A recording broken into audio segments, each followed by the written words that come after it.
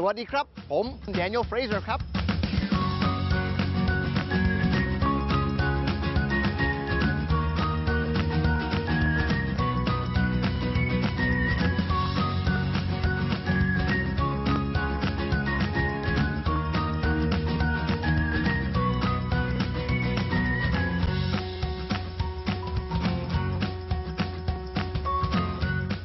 วันนี้แดเนียลเดินทางมาที่จังหวัดเชียงราย ซึ่งเป็นจังหวัดที่เต็มไปด้วย สถานที่ท่องเที่ยวทางธรรมชาติที่สวยงาม และยังถูกยกให้เป็นจังหวัดแห่งศิลปะอีกด้วย ซึ่งแดเนียลก็อยากมาแสบความเป็นศิลปะของเมืองเชียงรายนะครับโอเคนะครับสถานที่แรกที่ผมเห็นว่ามีความสวยงามด้านศิลปะที่จังหวัดเชียงรายดังนั้นก็คือ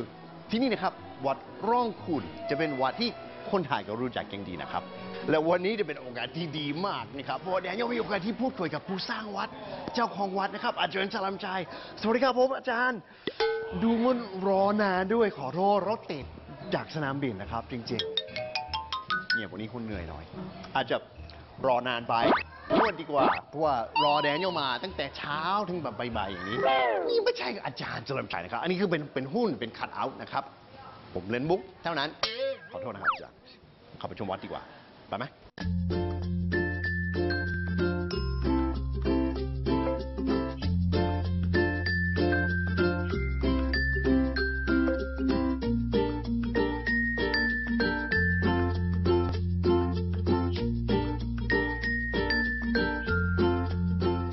อเคแล้วยังไปเที่ยวชมวัดแล้วนะครับ แล้วก็ตอนนี้เป็นโอกาสที่ดีนะครับ มีโอกาสที่พูดคุยกับ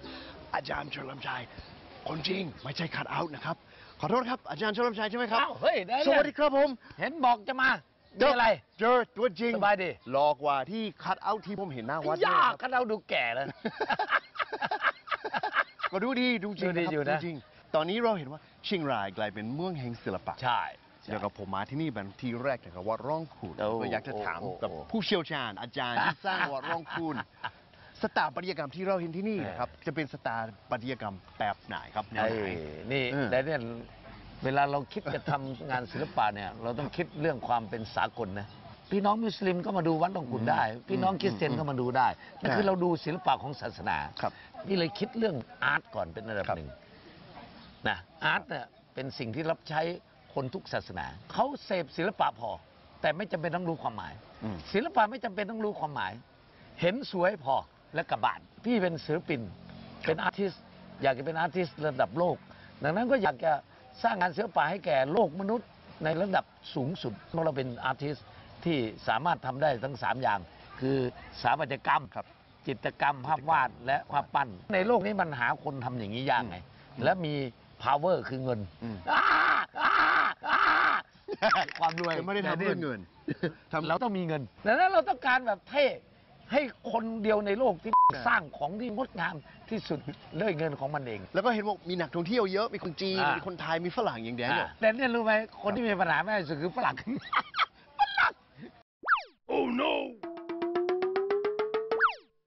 นอกจากผม ผมไม่มีปัญหาที่นี่ ผมมา แล้วก็อ่าน ผมอ่านประวัติก่อนว่าฝรั่งทุกโซนที่ไม่อ่านอะไรเลย แล้วครับมาเนี่ยคือปัญหาใหญ่ฝรั่งชอบยกตีนใช่ไหมแต่นั่นนะสมมุติไอ้ตัวเขียวๆที่อยู่ข้างหน้าเป็นเอ่อประติมากรรม ครับร่วมสมัยที่สีเขียวครับนะเป็นอืมเหมือน Iron Man มีใส่ชฎา เป็นหุ่นนะแล้วถือดอกบัวเป็นสีครับเขียว เราถือว่าเป็นผู้พิทักษ์ป่าตรงนั้นเป็นไฮไลท์ของฝรั่งมาก ฝรั่งก็จะมานั่งและถ่ายรูปในรูปในวัฒนธรรมเอาอ่าแล้วก็กอดแล้ว kissอ่านะ เห็นไหมแล้วก็นั่งชอบไปนั่งบนไหล่แย่อย่างเงี้ยมากเลย ทำอย่างนี้ เวลาจะยกเนี่ยโอ้ก็เจอฝรั่งอีกคนหนึ่งแล้ว นี่เอาเอานี่คือเอาฝรั่งลมาถ้าสมมติเขาจะพับกางเกงเขาเขาใช่ ยกตีนอย่างนี้เลย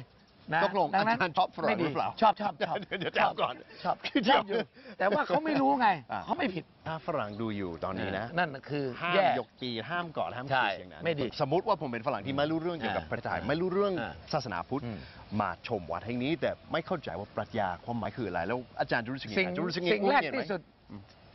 แดเนียลต้องเดินไปที่ห้องแสดงภาพ แล้วแดเนียลซื้อหนังสือเล่มหนึ่งหรือไม่งั้นแดเนียลขี้เหนียวฝรั่งขี้เหนียว ฝรั่งขี้เหนียวก็เอาไม่ใช่คนนี้เอาสักเอาสักห้าสิบบาท ตักต้องที่หนีหรือ เขาไม่เงินเยอะแต่เขาไม่เขาไม่เขาไม่ไม่ห้อมให้อะไรเห็นไหมหรือไม่งั้นก็เอาฟรีเรามีเรามีฟรีให้อ่านเราก็จะเข้าใจทุกอย่างเราจะเข้าใจง่ายกว่านั้นก็มี Google ก็แบบเออ Google แล้วก็อ่านฟรีหมดเลยแล้วก็อ่านอ่านอ้าวแล้วค่อยมา คำถามสร้างเมื่อไหร่จะรู้สึกว่า เสร็จแล้ว เราทำไปจนตาย ตอนนี้พี่เหลือมหาวิหารหลังเดียว อืมที่กำลังจะสร้างครับ ดังนั้นเวลาหลังอาจารย์ตายเนี่ยเขาจะต้องสร้างไปอีก ประมาณ 50 ปี ใช่ เราสร้างลูกศิษย์ขึ้นมาเป็น generation ให้เขาที่สองทำต่อให้เขาทำให้เขาต่อทำต่อ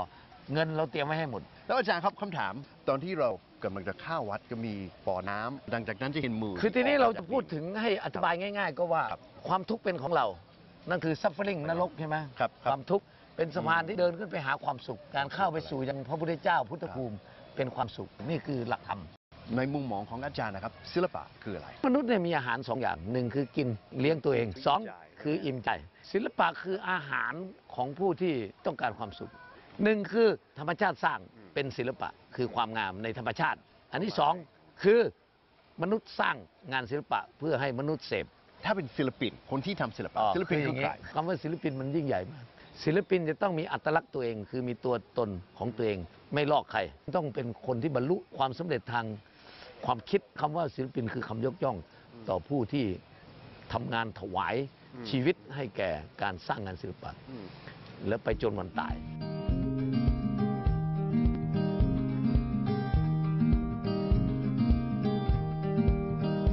เดนโยยังอยู่ที่อำเภอเมืองจังหวัดเชียงรายนะครับ และก็เดินทางมาที่ขัวศิลปะ ซึ่งเป็นแกลเลอรี่อาร์ตของเมืองเชียงรายครับ ด้านในก็จัดแสดงผลงานของศิลปินต่างๆ มากมาย และผมก็ได้มาเจอกับพี่พักที่เป็นผู้จัดการของที่นี่ด้วยนะครับ สวัสดีครับผม สวัสดีค่ะ ตกลงเป็นเจ้าหน้าที่ที่นี่หรือเปล่าครับ เป็นผู้จัดการที่นี่เลยค่ะ ที่นี่เขาเรียกว่าขัวศิลปะใช่ไหมครับ ใช่ค่ะขัวแปลว่าอะไรครับ ชื่อขัวแปลกมากภาษาเหนือก็คือสะพานค่ะ ศิลปะก็เข้าไปเชื่อมกับสะพานคือเราก็เป็นสะพานไปสู่สังคม มีผู้นำที่ยิ่งใหญ่อย่างท่านอาจารย์ถวันดัชนีอืมหรือว่าอาจารย์เฉลิมชัยรวมทั้งตอนนี้เรามีท่านววชิระเมธีครับสามท่านนี้เป็นแมกเนตสร้างเชียงรายให้เป็นเมืองศิลปะ ช่วงนี้เนี่ยเราก็จะมีศิลปินรับเชิญนะคะจากเชียงใหม่ ซึ่งเป็นยังอาร์ติสเชียงใหม่อืมก็มาร่วมสร้างสีสันให้กับเรา exhibition นี่ชื่ออะไรครับเทศกาลงัดบ้านเขางัดบ้านของตัวเอง งัดความทรงจำและเอามาทำเป็นงานของตัวเองค่ะ ตรงนี้จะเป็นความทรงจำบนโต๊ะกินข้าวของศิลปิน เหมือนแบบใช่เวลาที่อยู่บ้านเวลาอยู่กับครอบครัวอะไรเงินกันกินกันก็มีเครื่องข้าวมีใช่โต๊ะแล้วก็มาตัดทอนรูปทรง แล้วก็ต่อไปนั้นกับฝั่งนี้ก็มีอะไรครับ จริงๆ คนนี้เขาบอกว่าเขามีความทรงจำเกี่ยวกับเรื่องไข่แอบอ๋ดูอข้างในนี้เป็นบนโต๊ะอาหารมีข้าวไข่ดาว ข้างในก็มีมีไข่ดาวใช่ ตกลงว่าไข่เป็นธีมของชิ้นนี้ใช่ไหมครับ ใช่ค่ะ เพราะว่าชื่อผลงานคืออยู่กับไข่ เดี๋ยววันนี้คุณเดนิเอลโชคดีมากเลย วันนี้เรามีศิลปินชื่อดัง พี่สวิตใจป้อมเขามาสร้างสรรค์งานศิลปะอยู่ข้างบน อาจารย์สวิตกำลังจะทำอะไร ผม test สีว่าเอ่อคู่สีของเราเป็นยังไง วางองค์ประกอบเป็นยังไงอันนี้ขายได้นะเป็นการหมื่นนะเป็นหมื่นอย่างเดียวเป็น warm เป็นงาน warm up ปกติเนี่ยผมจะเขียนเป็นเป็นรูปเป็นภาพเหมือน ผมจะเขียนอ่าพระบรมสารีริสลักษณ์ของรัชกาลที่ 9 เยอะมากครับอืมเยอะอืมเยอะที่สุดแล้วก็งานศิลปะก็มีบ้าง เขียนอือฮึ ทิวทัศน์บ้างเขียนสีน้ำเทคนิคอื่นๆบ้างครับผมลองถามหน่อยได้ไหมครับครับ ทำกันยังไงได้เลยได้เลย อยากเขียนอะไรก็ลองเขียนดูเลยครับคุณเดนเนี่ยครับ อ่าอ่าอ่าสวยแล้วครับ แค่นี้เองโอเค ผมจะ เอาเลยฮะ ไม่ไม่ไม่ซีเรียสครับ ศิลปะไม่มีผิด ถ้าเห็นภาพผม ผมคุณอาจจะเปลี่ยนใจนะครับ ผมอยากจะผสมสีแบบหลากหลายสี เรามีจานสีผสมในนี้ก็ได้ โอ้โอ้อันนี้อันนี้คือสมมุติที่ว่าผสม ครับ คิดว่าอาจารย์ก็กินข้าวเสร็จปุ๊บแล้วก็ก็มีคนไม่ยังไม่ยังไม่ได้เก็บถาดโอเค เดี๋ยวเดี๋ยวไปล้างทีเดียวครับ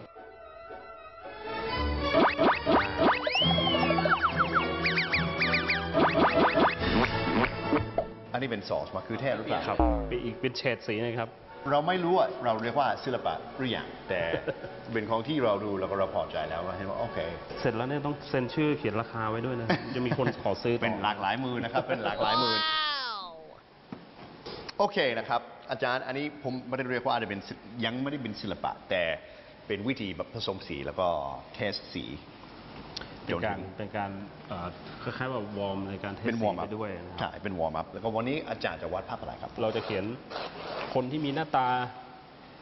ตามที่เราเห็นว่าเป็นยังไง แต่ว่าบางทีผมอาจจะตาเขียนใหญ่ขึ้นใช่ไหมมันเหนือจินตนาการอืมซึ่งรูปถ่ายทำไม่ได้ครับ ก็ก็เป็นงานศิลปะสามารถทำได้อะไรอย่างเงี้ยครับ ภาพกำลังดูดีแล้ว ลักษณะหน้าก็มีจมูกมีปากมีตาที่ยิ่งใหญ่เลยพี่สวิทย์ก็มีคำถาม กำลังจะวาดรูปแดเนียลหรือเปล่าอันนี่หน้าแดเนียลหน้าผมหรือเปล่าครับ หน้าตามันคุ้นๆนะ เดี๋ยวเรามามาเพิ่มสีสันเข้าไปอ่า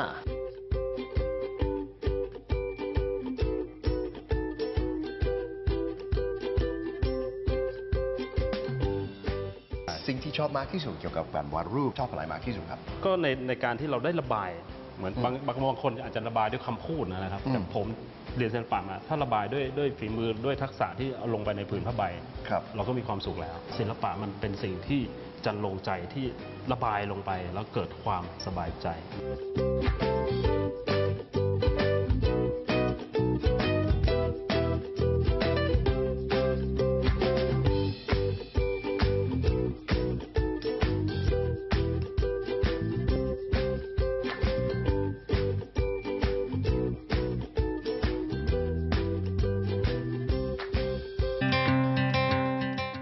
เคนะครับ ตอนนี้เดนิเอลเดินทางไปที่โรงเรียนพิทักเกียรติวิทยานะครับ ที่อำเภอเวียงปะเป้านะครับ เขาอยากจะชิญเดนิเอลมาทำกิจกรรมแบบแลกเปลี่ยนวัฒนธรรมผมจะสอนวิธีการทำอาหารฝรั่งจะเป็นขนมแบบง่ายๆเป็นอาหารแบบฝรั่งฝรั่งให้กับครูครูๆที่นี่นะครับ แล้วก็ครูจะสอนเดนิเอลวิธีการทำอาหารพื้นบ้าน น่าจะเป็นกลุ่มนี้ สวัสดีครับผม สวัสดีครับ โอ้ my god มีคนเยอะด้วย ผมแดเนียลครับ สวัสดีครับ คุณครูผู้ชายครับ สวัสดีครับ คุณผู้หญิงคุณครูผู้หญิงครับ แล้วจุดนี้ก็ชุดนี้คือเป็นคนม้งค่ะ เป็นคนมงอ๋อมาจากที่ไหนครับ เชียงรายเหมือนกันค่ะมาจากเชียงรายค่ะอ๋อแล้วก็พูดสวัสดีในในภาษามงได้ไงครับอ้าว ยอง Ni- nice to meet you my name is Daniel เนเบอร์ลินดาโอ้อย่าปล่อยมือเลยใช่ไหมครับอ๋อแล้วก็ คนเวียงปะเป้าจะจะจะแนะนำตัวยังไง จะทักทายกันยังไงสวัสดีสวัสดีเจ้าแล้วก็จับมือ ไม่ค่ะ อ๋อ แล้วก็ต้องไหว้สวัสดีเจ้าโอเค ถ้าผู้ชายอยากจับมือไม่เอานะเอาแต่ว่าอย่างเดียว จับมือกับผู้หญิงอย่างเดียว ตอนที่เราทำกิจกรรม คุณครูจะเป็นไปได้ไหมครับที่พาแดเนียลไปเรียนรู้แล้วก็เห็นว่าโรงเรียนเป็นยังไงที่นี่นะครับเพราะว่าไม่เคยมาที่เวียงปะเป้ามาก่อนนะครับ อ๋อ ได้ครับ โรงเรียนนี้เริ่มต้นครั้งแรกเมื่อ 50 ปีก่อน แล้วก็พัฒนามาเรื่อยๆ จนกระทั่งในปี 2551 ก็เริ่มจดทะเบียนเป็นโรงเรียน เปิดตั้งแต่ระดับอนุบาลจนถึงระดับชั้นประถม เด็กที่เราดูแลอยู่คือเด็กยากจนกับพร้าเนี่ยจริงเราต้องให้เขามีที่พักก็ได้รับโครงการช่วยเหลือจากส่วนต่างๆ เปิดเป็นหอพัก แต่เดี๋ยวนี้หอพักนั้นไฟไหม้เราก็เลยเปลี่ยนแปลงอาคารจากห้องเรียนเป็นห้องนอนเลย ก่อนนี้เป็นห้องเรียนนะครับอ่าตอนนี้เป็นห้องเรียนชั้นประถมครับปีที่ห้า แล้วก็มาเปลี่ยนเป็นห้องนอน อ่าเพราะว่าอาคารนั้นไหม้แล้วก็ย้ายเด็กจากเพลิงไหม้ตรงนั้น เราให้เด็กผู้หญิงที่มาอยู่ตรงนี้ สาเหตุหลัก ๆ ที่เราเจอที่อาคารไหม้คือมาจากหลอดไฟเป็นช็อตใช่ไหมคครัรับบเป็นช็อตอาคารนี้เราได้รับการดูแลในเรื่องของความปลอดภัยจากการไฟฟ้าส่วน ภูมิภาค ประการแรกคือเรื่องขององค์ความรู้ คุณครูทุกคนจะได้รับองค์ความรู้ ระบบสายไฟตรงไหนที่มันรู้สึกมันไม่ค่อยปลอดภัย การไฟฟ้าก็ให้คำแนะนำหลังจากนั้นก็เปลี่ยนระบบ ไฟฟ้าให้กับโรงเรียนหลอดไฟ เราก็ใช้ระบบของ LED เป็นระบบที่ปลอดภัยยิ่งขึ้น รวมถึงการตั้งระบบสายดิน สิ่งที่โรงเรียนได้รับอีกอย่างหนึ่งคือเครื่องตัดไฟรั่ว ในระบบไฟในโรงเรียนมันมีหลายห้องเรียนมาก ถ้าห้องไหนรั่ว ตัวที่ควบคุมห้องนั้นจะตัดก่อน แล้วเราก็สามารถที่จะแก้ไขในส่วนนั้นได้ ซึ่งแต่ละวันเด็กอัตราเสี่ยงในการใช้ไฟฟ้าสูงพอสมควร ถ้าโรงเรียนที่ไหนมีความประสงค์ ให้โรงเรียนติดต่อ ตรงไปที่สำนักงานการไฟฟ้าส่วนภูมิภาค และก็จะเป็นขั้นตอนต่อไป ผู้บริหารโรงเรียนคณะครูเราคงน่าจะต้องมองเห็นถึงความสำคัญในเรื่องนี้เป็นอย่างมากการมาเยี่ยมชมโรงเรียนก็เป็นโอกาสที่ดี ที่แดเนียลได้ทราบข้อมูลต่างๆ และพี่ๆจากการไฟฟ้าส่วนภูมิภาค ก็ได้นำของเล็กๆ น้อยๆ ฝากแดเนียลมามอบให้กับคุณครู เพื่อจะเป็นประโยชน์ต่อโรงเรียนและน้องๆ ในปีการศึกษาใหม่นี้ด้วยนะครับ เราก็รู้สึกขอบคุณการไฟฟ้าส่วนภูมิภาคที่ได้ให้สิ่งที่ดีๆ กับโรงเรียน ทางโรงเรียนก็รู้สึกขอบคุณมาก ก็ได้เห็นสีหน้าที่มีรอยยิ้มของทุกๆ คน เท่านี้แดเนียลก็มีความสุขแล้ว และก็ได้เวลาที่คุณครูและแดเนียลจะไปแลกเปลี่ยนวัฒนธรรมด้านอาหารกันแล้วนะครับ เคนะครับ หลังจากที่แดเนียลเดินเที่ยวที่โรงเรียนนะครับ ตอนนี้จะเป็นเวลาที่เราจะแลกเปลี่ยนวัฒนธรรมในเรื่องของอาหารนะครับ เมนูพื้นบ้านที่จะสอนแดเนียลวันนี้จะเป็นเมนูอะไรครับ อ๋อ แกงแครค่ะ เราจะเริ่มทำยังไงครับ อ๋อ เราจะตำพริกแกงก่อนนะคะใส่ตะไคร้นะคะขมิ้นนะคะ ใส่กระเทียม เสร็จแล้วเอาเอาพริกแห้งเนี่ยใส่ในครกใส่กะปิ หลังจากที่ทำน้ำพริกเสร็จเรียบร้อยก็ต้องทำอะไรต่อครับ เราจะเอาเขียดมา โอ้ my god เดี๋ยวระวังผมคุณจะกระโดดออกไปแล้วก็จะวิ่งวิ่งหนีนะครับ ต้องจับ โอ้ my god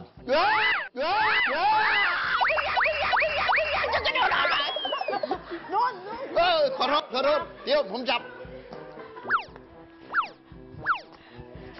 ฮะเจอมาแล้วเจอแล้ว ถ้าดูแบบหน้าตาเกลียดตัวเล็กๆนี้รู้สึกยังไงครับ โอ้ น่าเกลียดมากเลยเอาขอจับให้หน่อยนะครับผม ชอบอย่างนี้ครับจัแงๆเพราะว่ามันไม่ใช่ไม่ใช่เกย์แดนเนี่ยเราจะมีการตกลงกันครับ ครูครูดา ถ้ากินกะปิสดๆ อย่างนี้ไม่ต้องกินเขียด เอาเขียดหรือหรือกะปิกินนิดเดียวครับ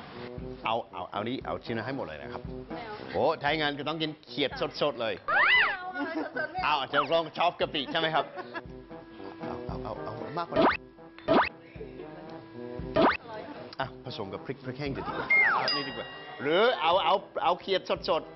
กะปิๆกะปิเขาเรียกกะปิเราจะเอาเขียดมาอันนี้คือเขียดย่าง จิตย่างย่างพอให้มันหอมๆ แล้วก็มาสับสับสับอ๋อรวมหัวด้วยเหรอครับ ค่ะ สับหมดเลยค่ะ ถ้าเรากินแล้วก็ฟันฟันเขียดจะติดฟันเราจะเป็นยังไง ฟันเขียดติดฟันมนุษย์อ่าเห็นไหมมันมีคำตอบเอาพริกแกงใส่ลงไปในกระทะใช่ไหมครับโอ้ลองชิมอ๋อหอมมากเดี๋ยวเดี๋ยวครูดาครับลองชิมแค่อยากอยากจะให้ผู้เชี่ยวชาญบักที่มีประสบการณ์ลองชิมว่ารสชาติเป็นยังไง อันนี้คือพริกแกงเอาลองชิมลองลองชิมกินเป็นสองคนครับลูกเอาเอาเขียดออกตรงนั้นยังไม่เขาไม่กล้ากินช้อนที่มีเขียนอยู่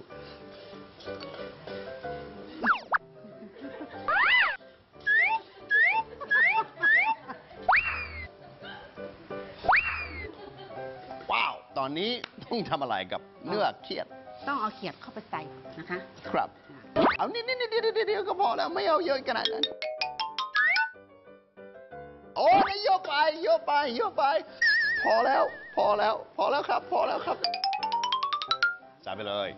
ต้องคั่วไปเรื่อยๆใช่ไหมครับ ค่ะ ให้ผักสุก ขณะที่เรารอแดเนียลจะมีเมนูของคุณบ้านผมนะครับที่ผมจะสอนคุณดาเราเรียกว่า French toast โอเคนะครับ ตอนนี้เป็นเวลาที่แดเนียลจะสอน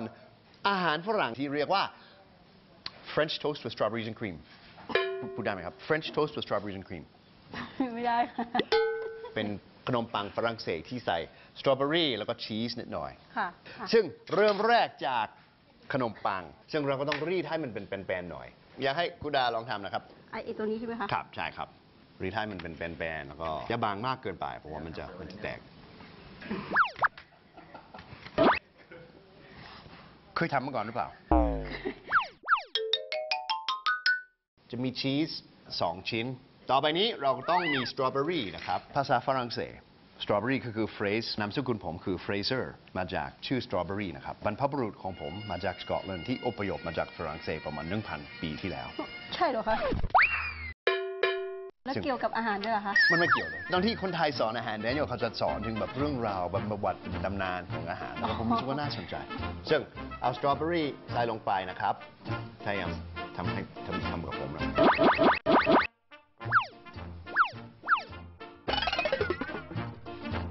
ครับตกลงไม่เคยทำมาก่อนใช่ไหมไม่เคยมีคนส่งเมนูให้ครูดาก่อนก่อนที่เรามาไหม นี่ดูดีแล้ว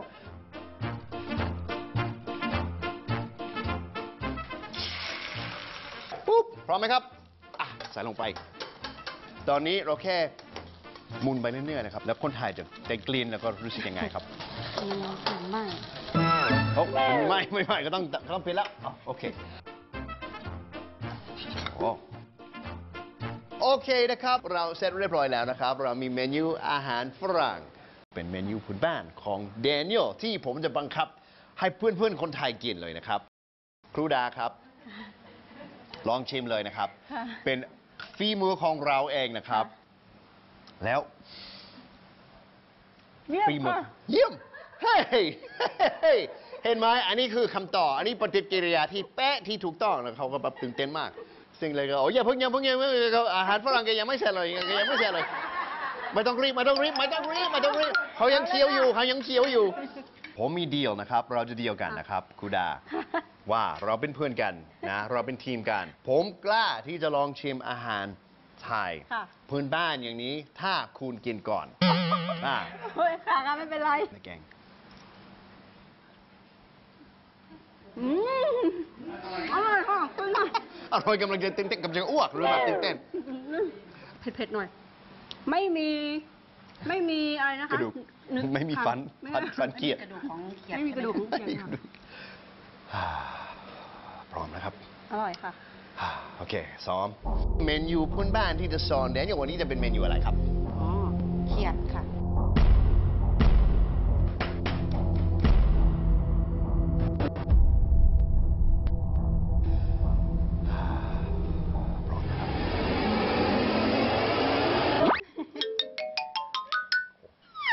ให้มันกรอบๆ แล้วก็ฟัน ฟันเขียดมันแหลมๆ มันคมมันเจ็บ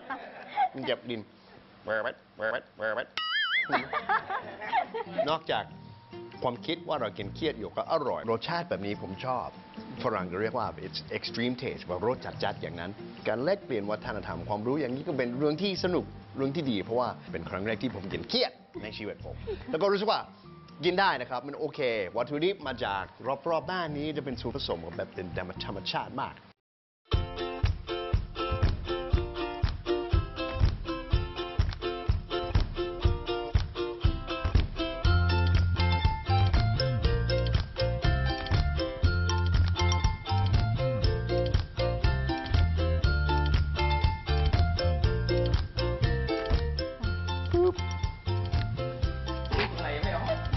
งซื้อที่ตลาดก็ยังมีพลาสติกที่ติดอยู่นะครับอันนี้